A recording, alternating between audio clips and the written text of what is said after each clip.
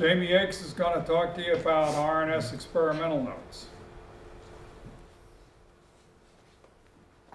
All right, good afternoon, guys. Um, thanks for coming. Uh, today, my talk's the regular and special $1 experimentals.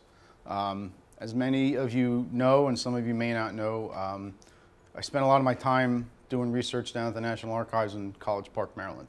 I live in New Jersey, so it's a convenient day trip for me. Um, a couple years ago, Lee Loftus, uh, who isn't here this, this year, uh, introduced Pete and I to a bunch of boxes which are files of the Bureau of Public Debt.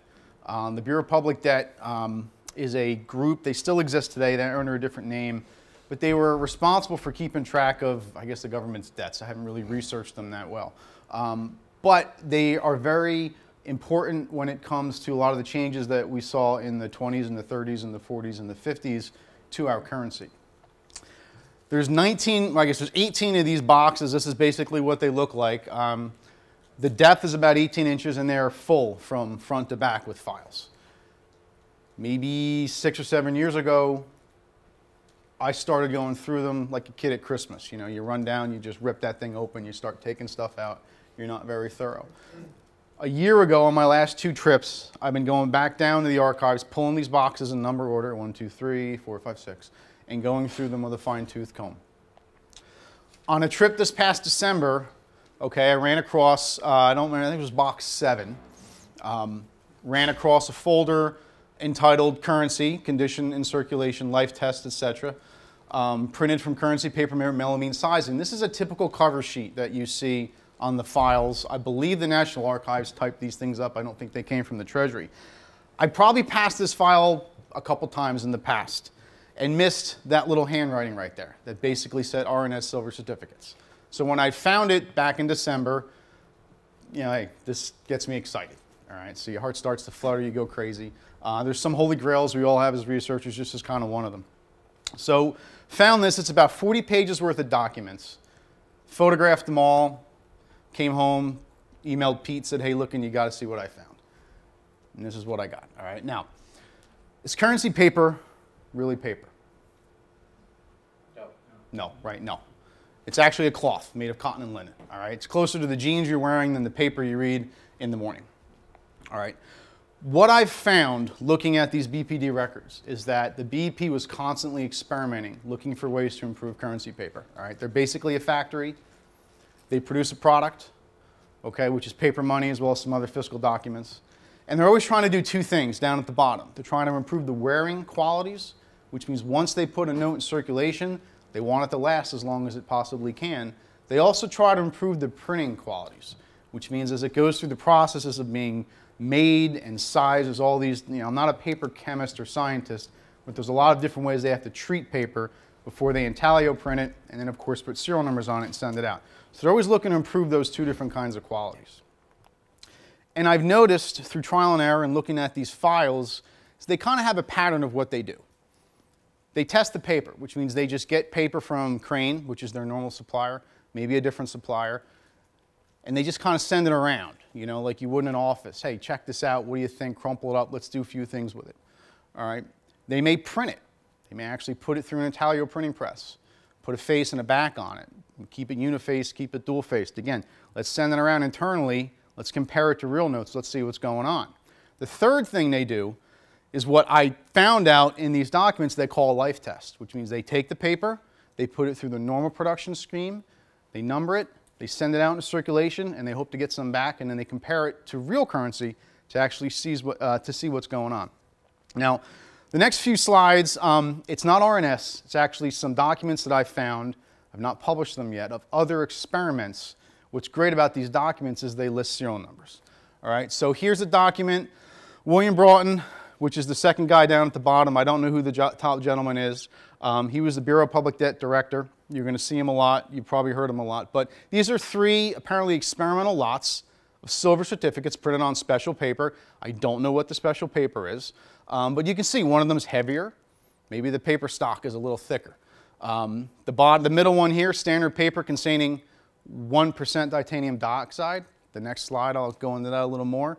And then here's this standard paper at the bottom with a special furnish. Frustratingly, what you find is this. Look at these serial numbers. Hey, I just gave you guys three brand new varieties to go out and chase. Well, guess what? I don't know if they were ever issued. Don't really know. And that's the frustrating thing. You find this stuff, but then sometimes it's a dead end. You don't go anywhere with it. The titanium dioxide notes, I actually wrote up an article about this a couple years ago. These were issued. Basically what titanium dioxide is, it's a whitener. When you add it to paper, it makes the paper more opaque so that when you print it, you don't see the other side through it. Um, for those of you who collect small size, maybe some large size, the early 28s, paper was kind of, wasn't any thinner, but it just, it, it was more translucent. And if you get a real crisp note, you can see the back or the face right through it without even passing it through light. So they were trying to make the paper more opaque so that you didn't have that transfer um, when you added it. Uh, these notes were sent out, I believe, through uh, the Federal Bank, Reserve Bank St. Louis. Um, you can see there's some branch banks on there. Their serial numbers, I believe they were all 35As. Uh, as far as I know, these were issued. Wrote the article a few years ago. I don't know, find them for me, let me know. What happened? What did I do? Okay, sorry about that. Um, okay, this is another uh, article, uh, one, one document I found. Um, silk is the fiber that's in currency. Well, they tried during the war to start using nylon. Um, a theory I'd heard was silk was used for parachutes, and so they wanted a replacement. I don't know if that's true or not. But uh, this is just another experiment where basically they received paper from Crane, I believe, with silk and nylon threads in it to see what the difference was. Um, I don't know if these were ever, well, actually, this second paragraph here, uh, Broughton is, or Hall, Alvin Hall, who's BP director, is basically saying, hey, we got this special paper, we've back printed it, let's face print it, and I propose that we put them into circulation. Again, this is what's frustrating. Were they ever put into circulation? I don't know. I've never found another document that continues the story, gives me uh, serial numbers or anything. This is Collins paper. I've seen these floating around. Collins was a different manufacturer of standard currency paper. Um, Crane has been the manufacturer since 1879, I believe, and the BP's kind of occasionally looked for other suppliers. Collins was one. Uh, the Gilbert paper, I believe, from the 1960s was another one. Again, these are serial numbers. Um, $1 silver certificates, $5 US notes, uh, delivered to the treasurer, and from what I presume, put into circulation. I'm not quite sure. Um, these are kind of cool here, and let me read this a little bit. These are large size 1923 silver certificates. Um, this is William Broughton. His scraggly little handwriting, it's actually worse than mine. He's sending this to Hall. He's basically saying, hey, listen, um, we got $200 in face amount of these special certificates back from circulation. Let's put them through some tests and see what we can do on them. This is a listing. This was attached to that sheet. This is a list of 23 Series 23 $1 silver certificates, serial numbers, and the date that they were basically redeemed by a bank. Uh, this is another file, same thing. Following information submitted relative deliveries of notes printed on special paper. Uh, these are all delivered to the office of the treasurer. Uh, they're all 23 $1 silver certificates. This is special B paper. This is special C paper. This is special D paper. I don't know what the papers are. I've never found other documents that delineate that, but there's all serial numbers. Now, sometimes what I've kind of noticed, depending on how many notes they printed, gives you an idea of maybe whether they put them into circulation. If they're printing two or 4,000 notes, that's probably just internal. They want to see what a finished note's going to look like. If they're printing a few million, they're probably going to send them out into circulation and see if they come back. Um, again, I don't know what happened with this right here, but these are just some examples of you guys have never heard it. I haven't told the story completely because I have so little to tell. But they were doing this stuff constantly and they were putting serial numbers on notes. A lot of it stayed inside, some of it went outside. Now, what you're most familiar with, of course, are the three, now four, four, excuse me, uh, life tests that they did with $1 silver. So you're all familiar with the 28As and the 28Bs the XBs, the YBs, and the ZBs. Okay, we all know about the ABBB and CBs, and I have documents on these too. There's 50, 60, 70 pages worth of stuff in the archives. I have partial stuff. This is why I need to go back and get the rest. Um, I believe these papers were special finishes that they were doing to treat the paper before they put it into circulation. This, of course, was something new that Pete and I wrote about. Um, it's kind of a repeat almost, not exactly, of the 1928As. Um, yep, 1935A. So uh, that's one note I got. I don't know where an XB or a ZB are. They did it on all those blocks. All right. So there's a lot more where I see just, hey, we got this special paper. What do you think of it? A lot of that's going, they were constantly looking for ways to improve their currency. I believe, what's the statistic? A note only lasts for like 18 months in circulation, right? And most, like 85% of what the BP prints every year is to replace just worn notes from circulation. So they're spending a lot of money. They get a huge margin on it, but they're spending a lot of money and time and effort simply just replacing what they produced a year ago. So if they can do anything to uh, make that longevity better, they're going to go ahead and do it. So as it pertains to RNSs, what I've noticed is that in the 1940s, the Treasury and the BEP started experimenting with papers that contain resins, basically plastics. All right. This is melamine. Probably didn't think you were going to come get a chemistry instruction today, but you're going to get it. All right. This is melamine. Basically, it's a carbon ring with three nitrogens on it, and it's got three amine groups going around the end. Melamine will basically combine with formaldehyde, a little bit of heat, and it'll create a polymer. It'll just chain itself together and create this plastic chain, so to speak. And so what the BP was doing was, Crane actually was doing it. When they were making the paper pulp, they were adding like 1 or 2% melamine to it. And melamine is basically going to have these active sites. And it'll combine, it'll attach itself to some of the active sites on cellulose, which is the compound that cloth, you know, um, cotton and linen or, or, or cotton's made of. It'll combine itself to that, and it'll basically become impregnated throughout the paper when they lay it out and they make this paper. And what they're trying to do is they're trying to increase a quality paper, which I learned is called wet strength paper. Okay, wet strength paper is paper in which the fiber constituents are chemically altered to retain as much of their dry strength as they can when they get wet. So here's the great analogy that I thought about this morning. Think about the commercials you've seen for paper towels. Bounty, pick one, I don't know which one's out there, right? Where they take the paper towel, they take two of them, they put them on a table, they squirt some blue water on it so you can see where it's moist. They put a stack of quarters on it, and they lift up the paper towel. And the one they want you to buy, man, it can hold the truck. The one they don't want you to buy, the quarters fall right through, right? That's basically an example of wet strength. They're telling you that this paper towel, when it gets wet, will maintain a portion of its dry strength. And that's basically what the BEP is trying to do. Moisture is one of the things that kills a currency note. When it gets moist, it gets wet, um, it, it degrades the fibers, it ruptures the fibers, it makes them much easier to break. So they're looking for paper that will withstand that moisture better. It won't absorb so much moisture. It'll stay stronger.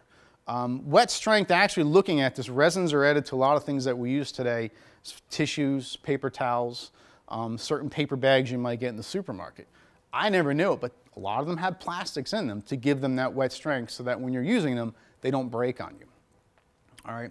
So the BP and the Treasury are starting to get this stuff from Crane. They're doing some tests internally, okay? They deal a lot with the Bureau of Standards which sometimes they'll get paper. They'll send some to the Bureau of Standards. They'll do some internally. So they're not numbering any of this stuff. They're just doing internally. Now, this is some guy, his name is B.W. Scribner, who was chief of the paper division of Bureau of Standards. In a September 1943 letter, God bless you, by the way, um, he writes this and makes a comment about melamine resin in currency paper, standard currency paper. Greatly increased the bursting strength, tensile strength, stretch, folding adherence, and resistance to crumpling. Okay, so he's basically saying, hey, compared to the standard paper we've been using, this stuff is awesome. And at the bottom, you can see another benefit is greatly increased wet strength. Nothing gets past this man, this is Alvin Hall, because he's the guy who's actually got to use it. He's got to make it practical. He's got to make it work. All right. Um, great photo that actually I found. Um, no, I think Lee Loftus has this in his files, um, just in his little office. Looks kind of nice. Longest serving director, uh, made really handled all the changes we saw from small size to large size, the mules, everything that you know you read about from the World War II era, he was central on. Administrations there. He looks at the same paper. This is October 43. He says, some time ago, we got this paper from Crane. We put it through a bunch of tests, all right? We compared it to regular paper without the melamine resin. And he made this kind of interesting comment where he says the melamine resin inhibited distribution of moisture in the paper. All right. In the printing of currency by the intaglio process, uniform distribution of moisture is paramount to the printing process. Now, what he's talking about is back then, this is 1940s, uh, up until the 1960s, paper was wet printed. So they took a sheet and they had to moisten it. And I believe they did this with large, just wet, almost like uh, uh, one of my like spa rooms, where they just had these big rooms with just heavy, heavy, humid moisture, and it just it absorbed into the paper. They put it on the Intaglio printing presses. They do that for the back printing and then the face printing. They didn't need to do it for the serial numbering.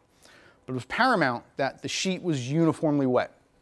Well, okay, they're adding this plastic that is increasing the strength of the paper, but it also has some hydrophobic qualities to it. It doesn't like water.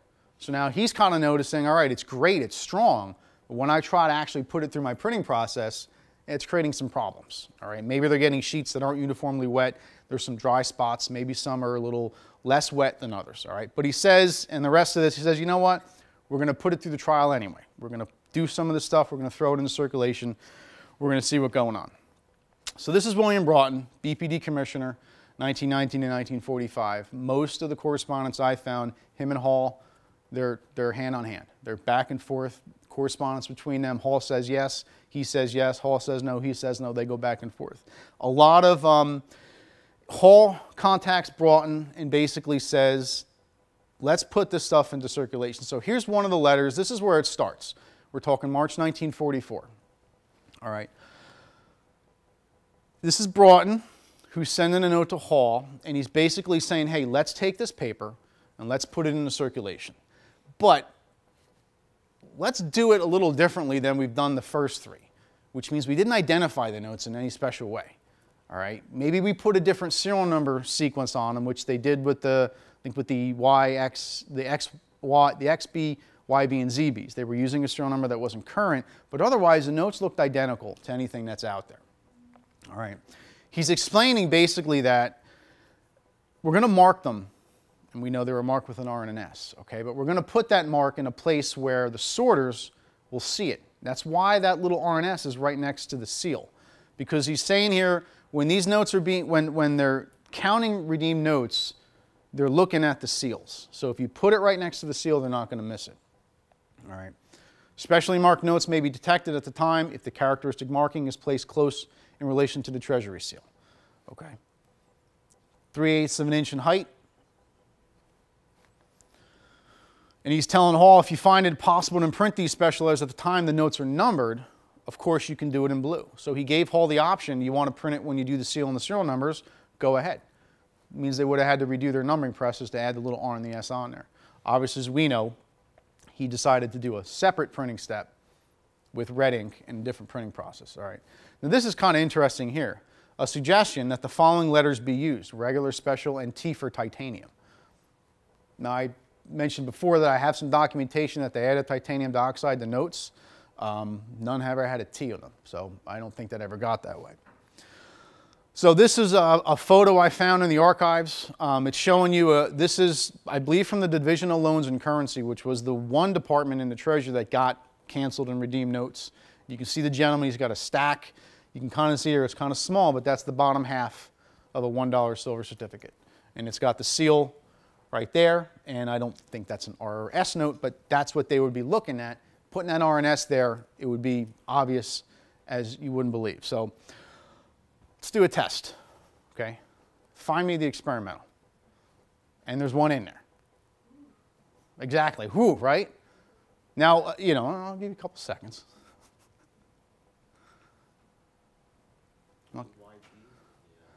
Okay, yes. Took you a little longer, all right? You weren't supposed to find it. Thanks for no, just kidding. So now, just obviously this is real simple. But imagine, uh, imagine being a counter, and, a, in, in not even a, in, in the Treasury Department where these notes are nicely kind of banded and cut in half at a bank, where you're just get, you're probably getting piles of this crap on tables and you're floating through it. And for the previous three experiments, you got to know the serial number, not a not a not a special mark, but the actual serial number. Okay, it's kind of difficult to do that. So Hall, June 1944, basically sends a letter to Broughton and says, hey, listen, got your stuff from March. We've gone ahead, we've printed these notes. Okay, we got 296 packages of R's, 296 packages of S's, uh, 4,000 notes apiece. I think it's 1,184,000 notes of each. All right.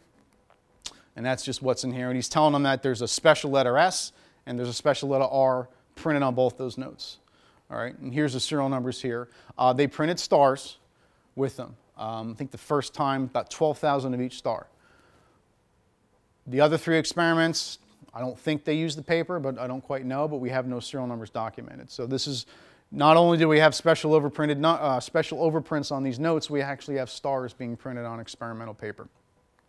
And of course, here's the two notes. Um, and you can see where the R and the S are pretty much in line with the bottom of the seal. Um, I don't know, under the C. Uh, they're there, they look real pretty. All right.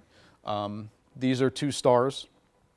I, I searched Heritage this morning and realized I think the S's are must be much scarcer than the R's. Um, the R's themselves are not common, but I only found one or two S's. I think, I didn't do too much research in here, but it might be hard for you guys to see, but that font on the RNS is very similar to the font that the BEP was using on the state names on 29 national banknotes. Um, I think this, in the front of my talk, you saw them. That was copperplate Gothic, which I know is one of the fonts that was often used, but um, they're very similar as, as to the way they look. All right. Now, find me the experimental. Exactly. So now you can kind of see. It's much easier to see this note now that it's got the specially printed R on it. All right, so this is, okay, this is Broughton. So what they did was they shipped these things out from the Federal Reserve Bank of Chicago. He ships them all the notes and basically says, I'm sending you these 296 packages, actually 500 and whatever it is, 82 if I did my math right, 592 packages these specially marked notes, okay? I want you to basically put them into circulation, and he makes a comment that I want you to issue them in equal lots. So if you send eight of R's, I want you to send eight of S's. So he's trying not to bias the experiment by having all the R's go out and all the S's go out. He wants them all to go out so that they're going to, at least from the, the get go, face equal conditions and stuff like that. It's not necessary for the bank, he's telling them, to sort the R's and the S's. So they're going to go out from the Chicago Fed Reserve Bank, they're going to ship it to their branch banks. Branch banks are going to ship it to local banks, et cetera. And the notes are going to start to come back in as they're pulled from circulation. He instructed the bank, said, listen, you don't have to segregate the R's and the S's from silvers. Just segregate all the ones like you normally do and send them to me. All right. This became one of the issues that basically plagued the experiment from the start. Redemption problems just kind of killed it right from the beginning. And that's one of them there. So he's saying, hey, just segregate your ones like you normally do. Don't worry about R's and S's. Um, send them to us, and we'll take care of them right there. So OJ Netterstrom is vice president of Chicago Bank, basically gets the letter from Broughton and says, hey, no problem, great. We got these notes, we'll ship them out, we'll segregate them, it won't be a problem. You actually sent him a letter a few days later with the number paid out uh, and the serial numbers and the actual date that they were sent out. So let's back up for a second. So this is June 1916 Broughton's telling the bank he's going to get the notes. I believe the bank received them on the 21st, and within a week, they had sent all the notes out into circulation. So they were all circulated. Um, I don't know how many stars were circulated, but I like these things when you kind of see these notes, you know, th- this kind of information. It's rare, but when you see it out there, it puts it out. So now the notes are out, they're in circulation, okay? Then you see a letter like this. Uh, this is a guy named O.C. Phillips, manager, uh, money department, Federal Reserve Bank of, of St. Louis. He's actually email, uh, emailing, excuse me, send, sending a letter to uh, Undersecretary Bell and saying, hey, listen, we got, we got these notes with R's and S's on them. What the heck are they? Because there was no, it wasn't a secret, obviously, you're putting R's and S's on the notes, but there was no Treasury correspondence like a press statement or anything that said, hey, this is what we're doing. Okay, they just kind of went out into circulation. Partly why I think they do this because they don't want to alert the public, who's then going to start to save these things as curiosities. And as we all know, well, that didn't work out too well anyway. So Treasury then puts the statement out July 4th, 1944. Um, basically says, you know, Treasury stated that in order to test certain technical aspects, we've put out these two special lots of numbers. They got reds, R's, and S's on them. All right. So now you got to think this is June 1944. Okay, what just happened? D Day, all right? not just private, public offices and departments, they're bereft of employees. The men are overseas, all right? Um, so when they looked at the redemption issues of getting these notes back from circulation, one of the reasons they used an RNS was to make them more identifiable just for the purpose of that, but also because they knew that the workforce was a little weaker than it may have been when they were doing the original um, tests out there. So this, I, I, I had to crop some of this, but this is Nederstrom sending a note in October to basically Broughton, and he's basically saying, uh, listen, we're, we're, having some issues. Okay, this is causing us a problem. I, I, not quite sure why, because they didn't have to segregate anything, but I, I, guess they were curiosities. They were slowing the process down. So Broughton responds to him and says, all right, um, sorry, went, went too far now. This is Broughton responding to Nederstrom. The banks are segregating ones and they're sending them back, and they go to the divisions of loans and currency. Broughton sends a letter to Nederstrom in October and says, we're having difficulties, the Treasury's having difficulties, because what's happening is they need to segregate out the R's and the S's from all the ones that they're getting, and they're getting backlogged. And they're not only getting backlogged with R's and S's, they're getting backlogged with all these $1 notes. So they can't do it. So I guess when you're in government, you can just go down to the bank and say, hey, listen, I want you guys to do it. So he goes to the bank and he says, I want you guys now to start segregating out R's and S's and $1 silvers and sending them to us in separate lots. So now the treasury is going to get all the R's and S's they need. Uh, they don't have to segregate the R's and the S's from the S's. They can do it together. They're going to get separate lots of silver certificates. It's going to kind of cut their workforce down. Um, Nederstrom, of course, uh, was not too happy about this. Says basically it's now a separate sorting function for them because now they have to segregate out all the $1 silvers as from all anything else they're segregating out, then go back to them and segregate out the R's and the S's from the ones. Um, and I don't know how many redemption people or sorters would have been at some of these banks, maybe only a handful. I'm not sure. So probably put a big boon on their workforce to do that. Reluctantly, of course, he says, okay, we'll do it. So this goes on. So this is Broughton going back to Nederstrom. Now we're in December 1944. So these notes were issued in June. Now you're talking six months later, and they're still having problems with redemption, and it's causing some issues for the experiment. So Broughton finally goes to Nederstrom and says, okay, I know we were having problems. I know you're having problems, but we need to get this thing going on. So he goes, why don't you just, instead of doing sorting all month long, just do it for the first six days of the month.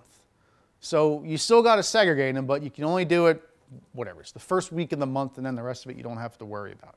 Um, I'm a scientist by training. I presume many of you are also scientists, or some of you you're kind of biasing your results here now because you may not get a lot of notes in the first month, the first week of the month, you may get more at the end of the month. So you've already kind of skewed your results by this, this kind of action here, but didn't really have any choice on the matter. They, they kind of had to do it.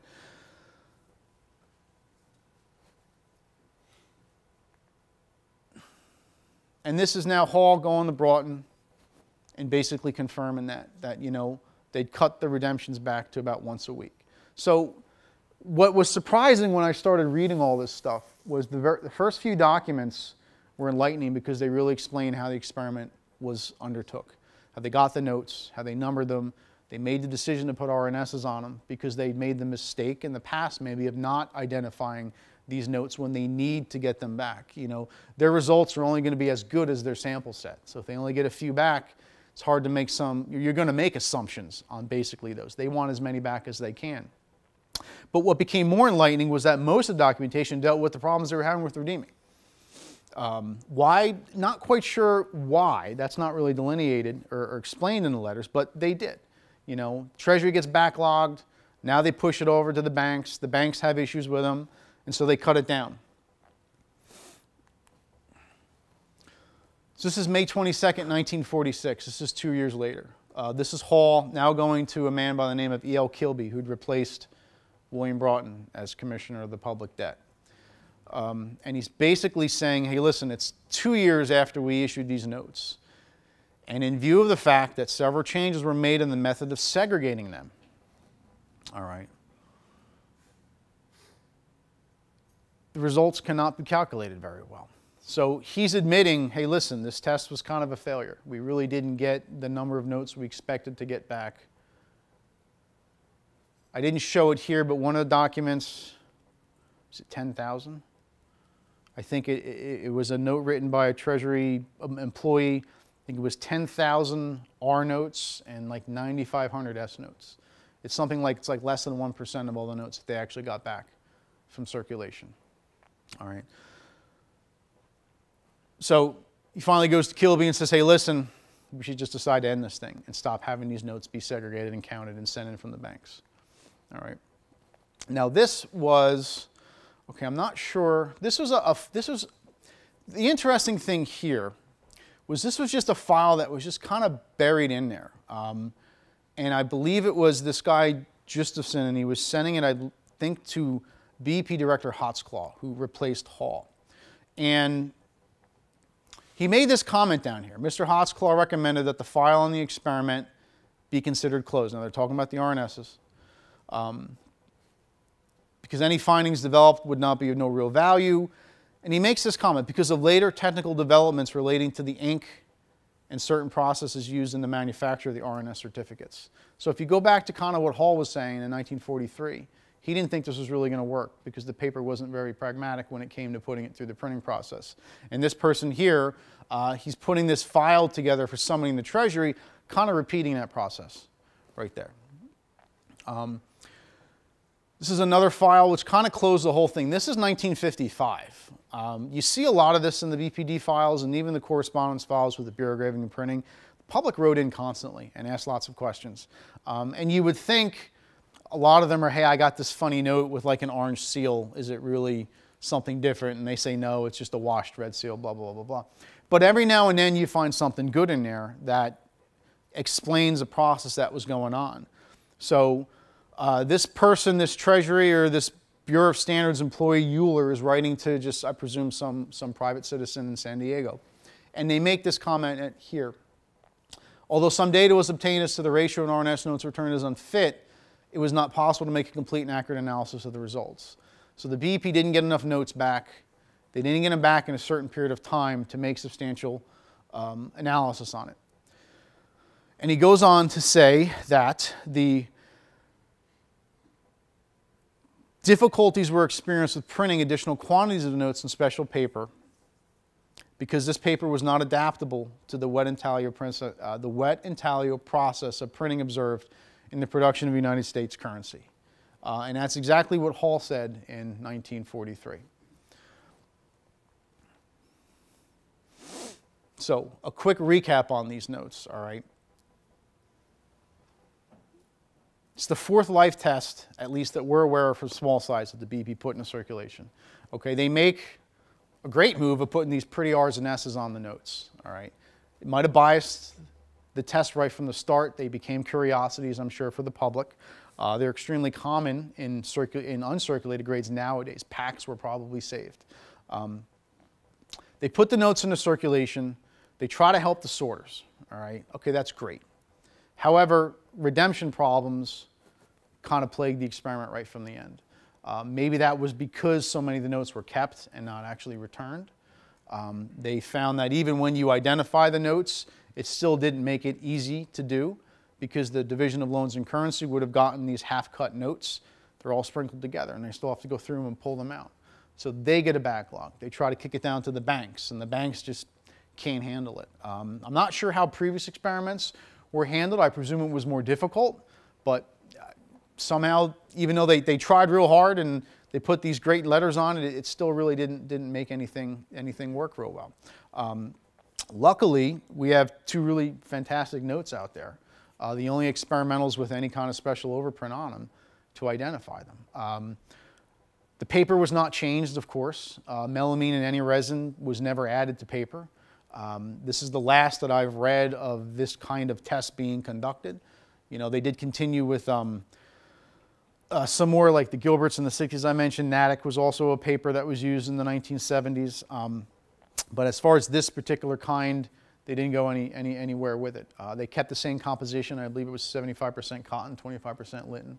Um, and it just, uh, it's interesting because they really use their experience from previous experiments to make this work. Um, the other issue with using R's and S's was they didn't have to segregate the serial number runs. Uh, with the XYs, with the 28 A's and B's, when they were issuing those, those serial number not, sequences were not actually in use. They weren't numbered for another three years on regular currency. So they thought, okay, let's use a special serial number sequence. Well, now you gotta, you gotta keep track of that. When they did the 35 A, B, CB, and BBs, I believe that was a current serial number block at the time. And with the 35 A, XY, X, Y, and Zs, that was also a current serial number register at the time. Um, so they had to keep track of it. This they didn't really have to worry about. They could just number these as normal, segregate a, a bunch, you know, keeping track of the special paper, put the RNS on it, and, and kick it out.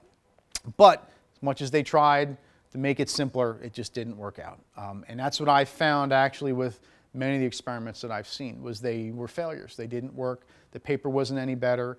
Um, maybe it was better, sorry, but there's so many steps in producing currency from the pulp step of making the paper, from the wetting process, from the trimming process, from putting intaglio presses, uh, intaglio prints on it, from doing the serial numbering. It's very hard to get paper that passes all of those steps right there. And what Crane produced in the 1870s is still, I believe, the same composition that they're using today. That just has worked.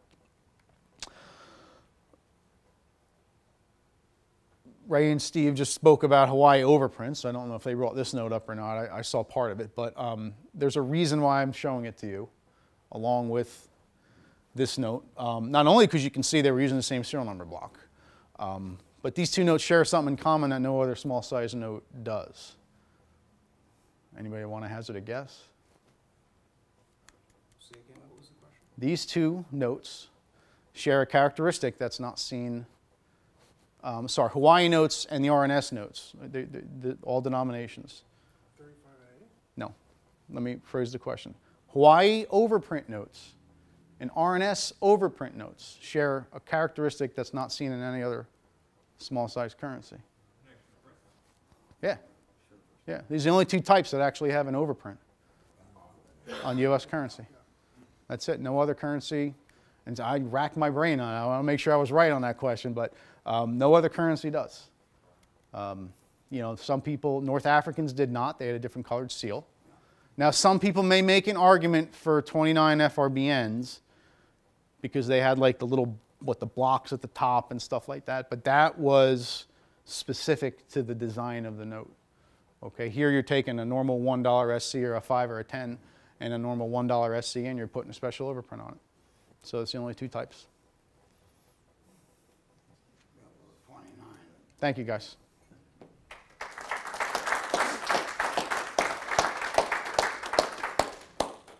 Question, how did they apply the RDS? Do you know, was it part of the It's- intaglio process?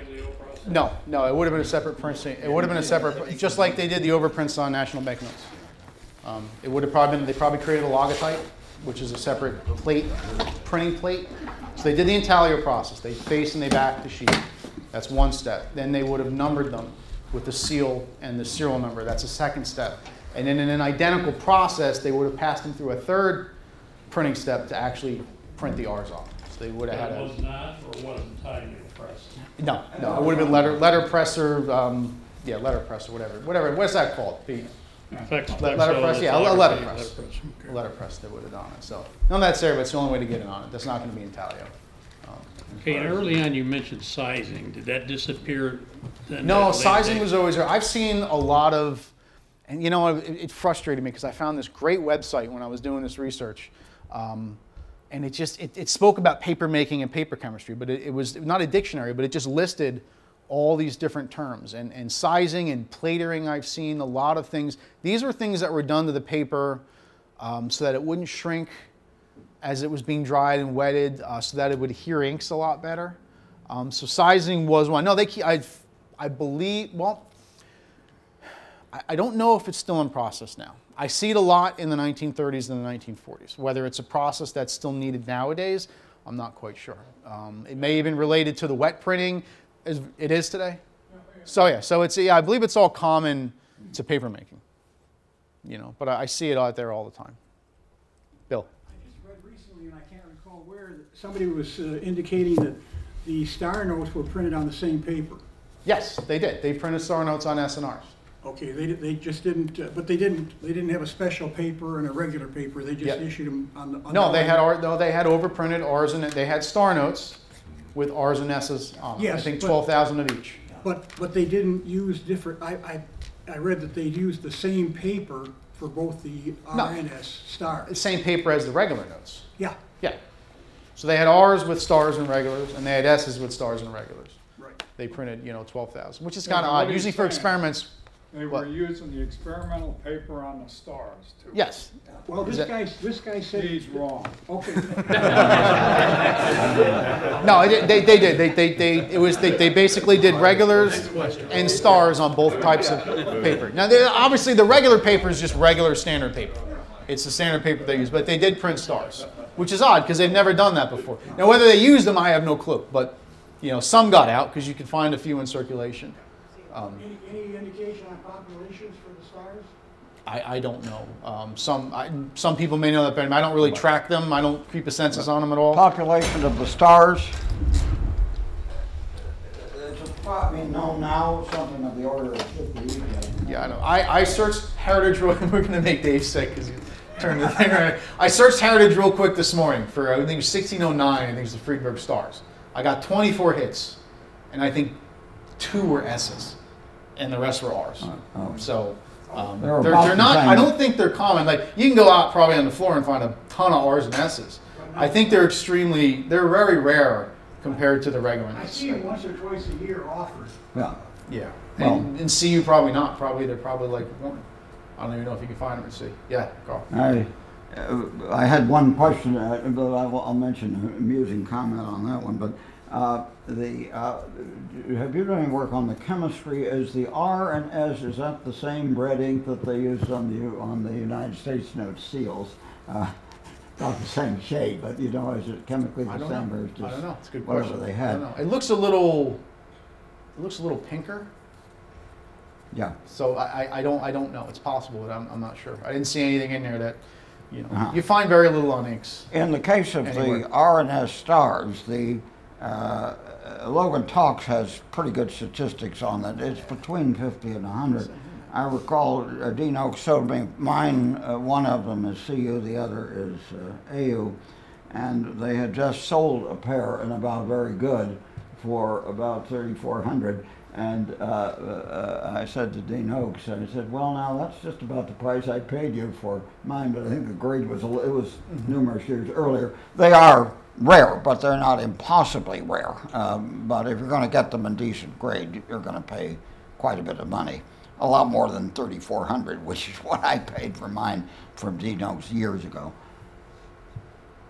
I know um, Pete had sent me an article on this, but I, I know, and I had heard this before I'd ever found this, that there was some hearsay get go about the RNES standing for rayon and silk, as far as the fibers that were put in the paper, and, and that's obviously not, not, not true. Um, it was always silk paper, um, special and regular, which I know has been known for decades.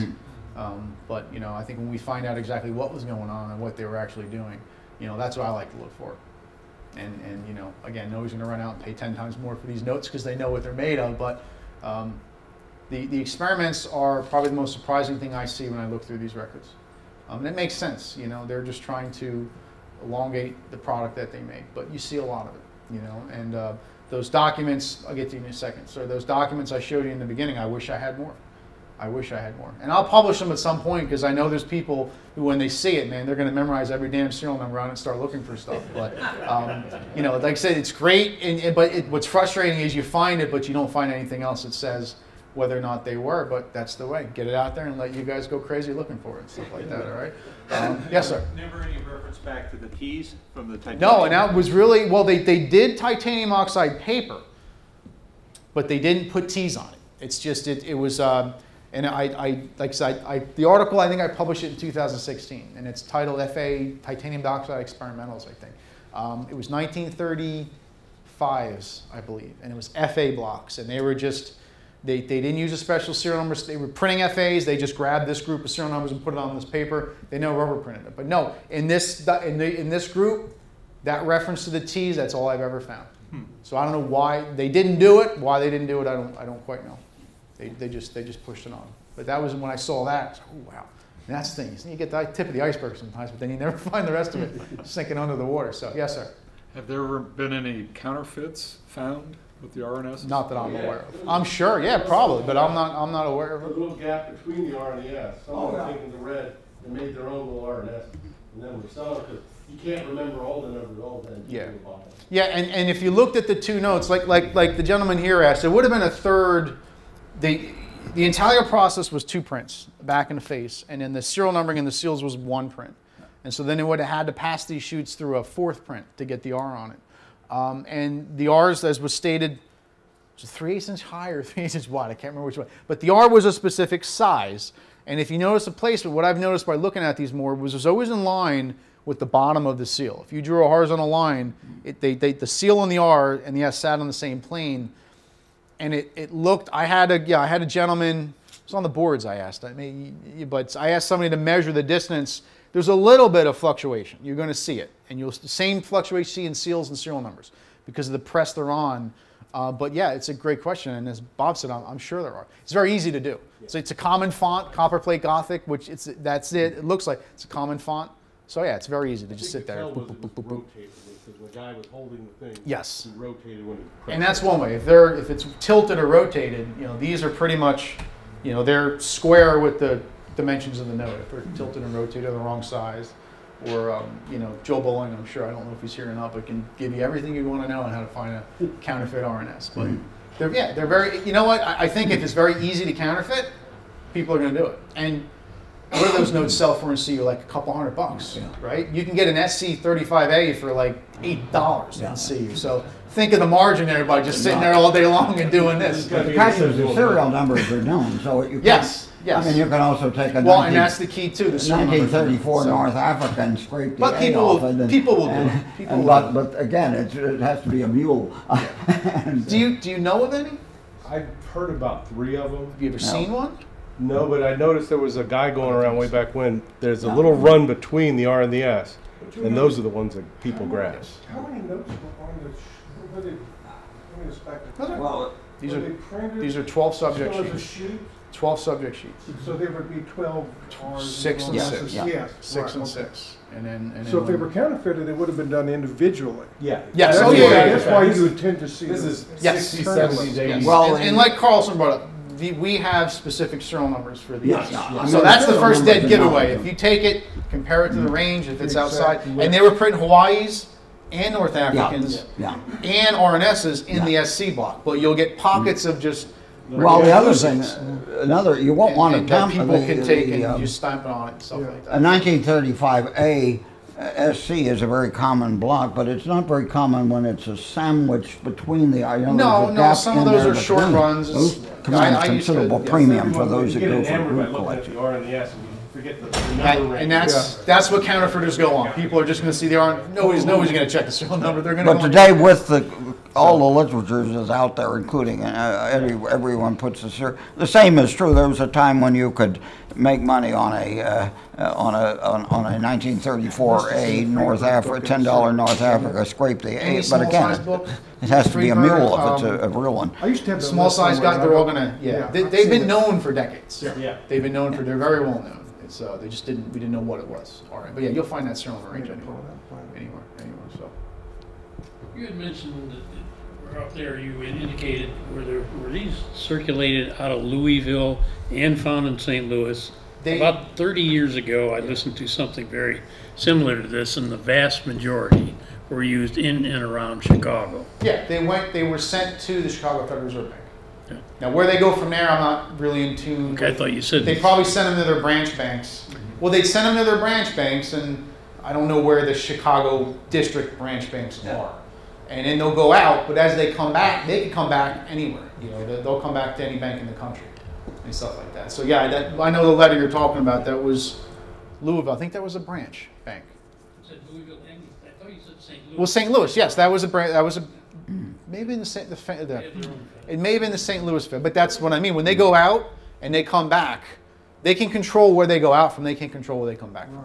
So somebody could have picked it up in Chicago, drove out to California, bought something in St. Louis, and it gets redeemed through to St. Louis. And that's normal. The Treasury knows that.